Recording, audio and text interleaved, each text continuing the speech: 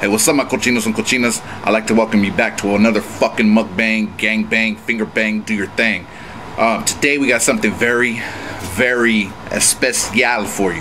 Um, I'm collabing with the homie Snoop, aka Snoopy Eats 408. Um, we're busting out a collab. We're grubbing on some Chinese food, like some honey walnut prawns. I got the honey walnut shrimp. Um, you know, like some chow mein, lo mein kind of shit. We just got some Chinese fast food, you know, kind of grub on deck. We're gonna be grubbing that. So please, um, when you're done with the video, go ahead and check out the homie. Um, his video and his channel will pop up at the end, but I'll also put it in the description below. Uh, I'm also gonna let you know about the time that I tried to join the Crip, um, the Crip team, and how I didn't make it. Actually, uh, the homie Snoop was one of the leaders at the time, so that's when I first met him. But I've known him for some time on YouTube as well, just uh, in the mukbang community, the food bank community. Um, but yeah, I'm gonna let you know about the time I tried to join Crip and I couldn't get in because I didn't pass their Crip obstacle course. So we'll go ahead and get into that. Let me go ahead and show you the food that we got on deck. So I went to Panda Express. Uh, apparently, the homie Snoop's in Canada, and apparently they don't have Panda Express. They have like a PJ Panda or or some shit like that. I, I forgot what he said, um, but I'm gonna show you what I got. I got the chow mein, the motherfucking Beijing beef, and I got the uh, honey walnut shrimp um, on deck. So this is gonna be delicious, and I'm also gonna um, top it with some of this rooster chili garlic sauce, and then also if you already know me, you know by now I got the Tapatio on deck. And it ain't on deck unless you almost break the fucking table. But like I said, please get you a heavy duty table because if you break it, I'm not responsible. Also, to complete this, since it's a very special occasion and I'm very excited to do this collab with the homie, it's been some time. Um, we've been wanting to collab. I got the Sapporo, the uh, yeah, I was gonna say Sapporo, but there's only one R. Um, there's two P's. Um, don't hate on me if you're Asian. You're probably gonna get on my helmet already. I know this is a Japanese beer, and I know I'm eating Chinese food, but they didn't have Tsingtao. Um, I just went to the you know hood liquor store, your neighborhood liquor, um, and I got this. So we're gonna go ahead and drink this um, along with the food, and then I'll go ahead and get to that story time. One thing, um, I don't really go to Panda Express much. I've maybe been there once or twice in my life, and it's been at least 10 years since I've been there. So I'm not really sure what's in this. I'm guessing rice or something some spent oh well they asked if I wanted rice or chow mein and I told them just chow mein so I don't know I guess they couldn't fit the rest oh this is my third entree okay I forgot I got a three entree plate see I don't even recognize what I got I got the um, fire roasted chicken so check that out oh yeah that golden deliciousness homie hell yeah so some of you are probably already, you know, your your mind's going like, why the fuck would you try to join Crip, bro? You're Mexican. We'll get there, you know what I mean? We'll get there. So let's go ahead and um, get intimately involved with this meal. I'm super excited about it. Uh, let me see if I can adjust this a little bit so you can see it better. Oh, there we go, you know. Now, now we're really talking. You can see it a little bit better, you know. You can't see completely, but it's cool. I mean, you probably can't even see your own dick, so we're good. We're there. Let's go ahead and put some motherfucking sauce on it and get it going. I know the struggle, homie, you know what I mean? So let's go ahead and do this. Shout out to the homie Snoop. He's an OG, bro. He's an OG. Fuck with him. He's got some good content, you know what I mean? He goes live all the time. That's one cool thing about him. He goes live. He has lives. He gets down. He, he talks to everybody. He's very interactive. You know what I mean? Kind of like how he was in the streets, but he brings it onto YouTube now. So we're going to get the shit nice and Chinese bloody. Alright. Asian bloody. Alright, now let's get it Mexican bloody, you know what I mean? With the tapatio. Hell yeah. Okay. Alright. My asshole's gonna burn later, homie. Pause. Bring back memories and shit. Alright. Let's go ahead and dig in because I really want to get into the story time. At the same time, I'm in no rush. I hope you're not. Um, if you are, come back a little bit later. It's all good. I understand. So let's go ahead and dig into the shrimp first. Look at that, homie. Look at that. Don't look at me. Alright. Mmm.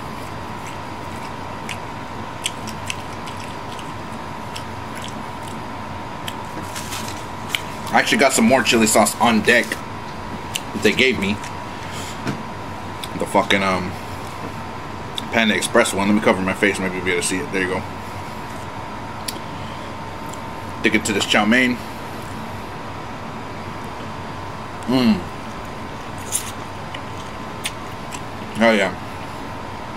Let me get a couple more bites in before we get into the story time, homie. Alright. Hell yeah. Mmm. Want some? Gotta offer the lady some in the background. She's in the back putting up with my shit, but it's cool. Alright. Extra spicy, huh? Alright. So let's go ahead and um, get into the story time. Because it kind of has a lot of details to it. They do that shit. Alright. So, as some of you may or may not know, I'm from Stockton, California. That's where I currently live as well. But I've moved to different areas during my lifetime. I've even lived in Oregon. This is my first time trying this beer. Let me know in the comments below if you've tried this and how you like it. It's pretty cool. You know, like I said, we're bullet and shit. It's pretty dope. Cheers. Cheers to the homie Snoopy. Cheers to all my Trejos World family. Appreciate you all.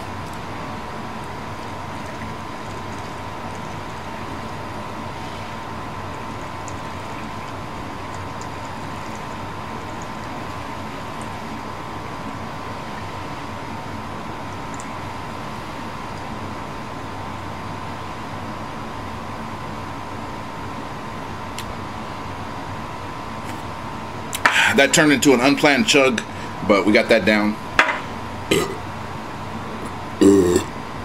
Excuse me, made my eyes water a little bit. That's just very filling. All right, now we can get to the story time. So, born and raised in Stockton, California, but I lived in other places from Riverside to you know Oregon to fucking Sacramento, all around, right?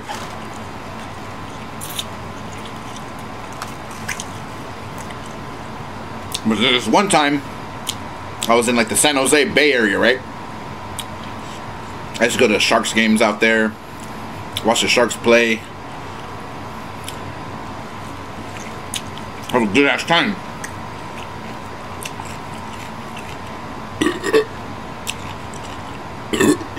Excuse me. That's the beer. Alright.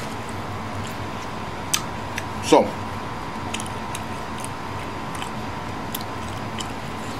I would chill out there, and I, I would always see this group of dudes at the game, and they were dressed in all blue. You know, 99% of them were African American, but they still seemed like they were having a good time. You know, I'm not a racist motherfucker. I can see when someone's having a good time. I don't care what your race is. So, at that time, I didn't really have a whole lot going on in my life. I'm not saying I was depressed, but you know, I didn't have much going on. So, I'm not a gangbanger. I wasn't gang banging. I mean, I was, but you know, I mean, not like in um, as a gang. You know, more as a a person joining a, a sexual. Anyways, let's not get into that. So, at the time, I was a free agent in the gang world. Hmm. Hold on, y'all. Got to share with the lady.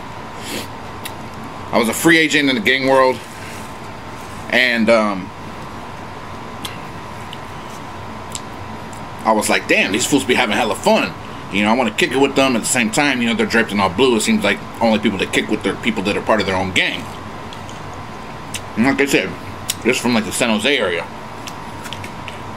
So I approached them. I was like, hey, what's up, homies? You know, my name's Trejo not from the area. I'm from Stockton. But you guys look like you guys be having fun, bro. And you know, without sounding like a nerd, I like to kick it with you guys. And they're like, yeah, it's all good, bro. We be having fun. You know what I mean? Just bring some motherfucking Hennessy next time you come, homie. I'm like, all right, whatever. So I walked through the next Shark game, Sharks game, and brought the Henny. And they're like, all right, next time you come, bring the weed, homie. So, you know, I kept bringing shit, Kool-Aid, different kind of shit. You know what I mean? That they asked me to bring. And I liked all that shit too. So, mm. Eventually, they're like, man, you know, you're a cool ass dude, man. You're, you're the homie. Um, want to make you official. I was kind of like, what you mean official, homie? Like, we want you to join Crip. I was like, shit. Put me on. I ain't tripping. You know, I was I was with it, as, as they say. I was ready. I was down with it. So, I was like, all right, you know, what do we got to do? They pretty much were like, all right, we want to put you on, but the only thing is we're under like a corporation. I was like, what? Corporation of Crip? They're like, yeah, exactly. That's what's called COC. I was like, okay, Corporation of Crip, whatever. They're like, you got to actually go through a process. You got to put in an application. If we, if they accept your application or we accept your application, which obviously they already did, then you'll be selected for tryouts. We're like, okay. Like, if you get selected for tryouts, pretty much the tryouts are a crip obstacle course. So I wasn't even tripping. It sounded a little bit weird, but at the same time, I'm like, whatever, you know what I mean? Because all these dudes were like fit and shit. So I can understand they want to make sure that you know you're able to, you're able to, you know, what I'm saying, put in work, um, and not get tired, you know, out of wind and shit. So like, yeah, okay, it's gonna be in LA. So that's where the headquarters of Crip is. I'm like, whatever, bro. They're like, you got two weeks, get in shape. So there's a two week period of time. I'm saying I was eating healthy, eating salads and shit. You know, tossing salads and shit. Doing what I had to do to get in shape. Exercising, going for fucking jogs and shit. Hitting the weights, doing push ups. And to be honest, I was a big dude, but I was able to move, you know what I mean? I was like, I'll be able to get in, you know what I mean? This ain't no problem for me, bro. Oh boy. Was I fucking wrong, homie?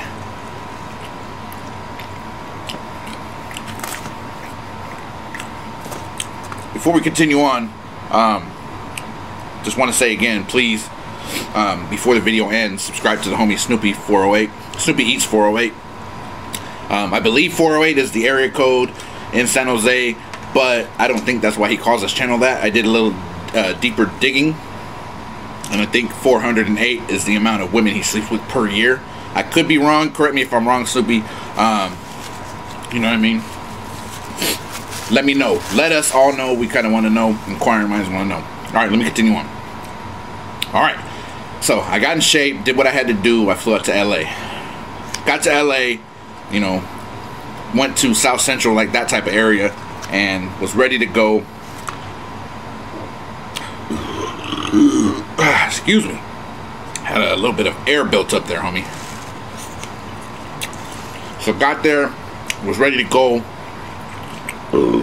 And they're like, all right, this is what you got to do. You got to complete these 10 courses, obstacle courses. If you complete these, we're going to go ahead and approve you.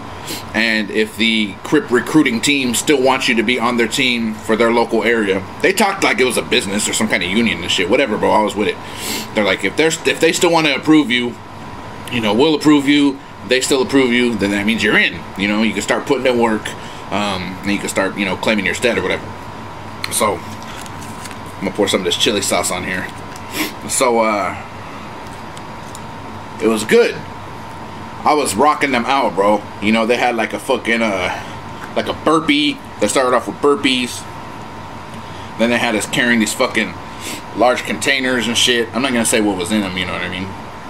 But it may have been, may or may not have been Mad Dog 2020. And we were carrying those, you know what I'm saying, to make sure that we are fit, in shape, in peak condition, you know what I mean? We had to do quite a few things. Eight fucking obstacles in, right? I'm like, fuck, you know, I got this in the bag, homie. I only need two more. It's nothing, you know what I mean? It's nothing for me, homie. Alright. So, on that eight obstacle course, the confidence of a fucking fucking madman, you know what I mean? Like, I got this, bro. Um, I went in there confident as fuck. Like, let me just, you know, knock these last two ones out, and we're good, you know what I mean? These last two ones, bro, fucking killed me. They saved the hardest for last, homie, you know what I mean? So, They're like, all right, you're 80% done, you know what I mean? You're almost there. You're almost in. I saw the light, bro. They're like, all right, you're not course. Double Dutch. I was like, what the fuck you mean double Dutch, homie? They're like, you're gonna double Dutch. You gotta double Dutch for 10 minutes straight, bro. I was like, I gotta double Dutch for 10 fucking minutes straight? All right, bro. Double Dutch, like, I got two joints and smoke those for 10 minutes straight, or what do you want me to do? Like, what double Dutch what? Right, no, you got double Dutch. So they had a couple crips, you know what I mean? Having the jump ropes, you know, going and shit. I jumped in and I killed that shit, bro. I didn't think I would last that long. I was huffing and puffing and sweating and shit by the time I was done. But your boy double dutched for 10 minutes straight. Now, I'm not 100% sure because, you know, things kind of went sour after my results, but I believe that the reason that they taught or they wanted people to do the double dutch is because it helps you to crip walk better in the long run or something. I'm not 100% sure. If you're a crip, let me know in the comments below if that's why you guys do the double Dutch obstacle courses because you want people to crip walk better. Because, like I said, it went sour after that and I lost contact with everybody. All right. So, killed that. I was like, cool, I got it in the bag, bro. One more course, I'm good, bro. I thought for like a split second, like, what the fuck am I even doing, bro? This is stupid. But then, you know, it was like a fleeting thought, you know, I was like, fuck it. Let me just continue on, you know what I mean? 10th course. 10th motherfucking course, bro. They're like, all you gotta do is push ups. I'm like, for real? That's it. I'm like, bro, you had to start with burpees. You're gonna have us end with fucking push ups? Like, yep. Just do 50 push ups. I've done 50 push ups before. Not the easiest, but not the hardest even being a big dude. By that time, I was pretty tired. But this wasn't just any fucking regular push up, bro. They wanted you to throw up the C for crip while you were push upping. So they wanted you to get that C, you know what I mean, on your hands and, you know, hold it on the ground and shit and do your push ups. Because they want you to have like that strong C when you're throwing it up or whatever and do those push ups. Bro, my fucking joints, my knuckles, everything were fucking hurting, bro. I made it through four and said, fuck this shit, bro. I'm Mexican. I shouldn't even be doing this shit. I ended up quitting. I didn't even fucking finish. They were disappointed. They were like, damn, bro, we believed in you. We thought you had it in you. I'm like, come on, bro. Like, I'm gonna have arthritis by time I'm fucking 40, bro, doing these kind of push ups on me. So, I mean, if you see a crip, bro, you better respect them because, you know, they put in a lot of work to get where they're at, bro. You know, a lot of blood, sweat, tears, a lot of arthritis, a lot of joint pain, you know what I mean? They put a lot in, so respect your neighborhood crips, bro. You know what I mean? Um, so I didn't finish those. Um, I had to pay my own airfare to get back home and shit like that. So it was crazy, bro. It was just a moment in my life where I wanted to belong to something, and I put in the work to fucking do it, but I fell short. So let me know in the comments below if you're a crip, and did you have like, did you practice? Did you have conditioning? Did you know what the obstacle course would be before you became a crip? If you're a blood, let me know in the comments below if your guys' initiation process is as tough or not. You know, I know how the Mexican games roll. But kind of want to know in the comments below. And actually, believe it or not, I do know a dude from my area who's Mexican, who's a crip. I still get kind of confused about it, but it is what it is. I don't encourage anybody to, to gang bang or join a gang. Um, but if you do, you better be ready. Shit. We don't take that shit lightly. So, anyways, shout out to uh, the homie Snoop. He kept in touch with me. He ended up giving me a call a few months later, but hey, bro, I thought you was cool, man. You really, you know, pushed the limit. You showed that you were worthy. I'd like to keep in contact with you, you know. We can kick it from time to time. I'll be having parties all the time. But I'm thinking about moving back to Canada, so I don't know if you you know you ever come out to Canada, come chill with me. And so we ended up doing. To this day, I haven't been able to make it to Canada, but I'm hoping one day I can. So, shout out to the homie Snoopy Eats 408. For real, for real. Bomb channel. He got a few hundred subscribers more than me. He's a growing channel. He'll be hitting 10,000 subscribers within six months, I'll say. So let's keep him growing, keep him going, you know what I mean? Tell the homie Trejo sent you. Mmm. I'm just trying to knock the rest of this food out, homie.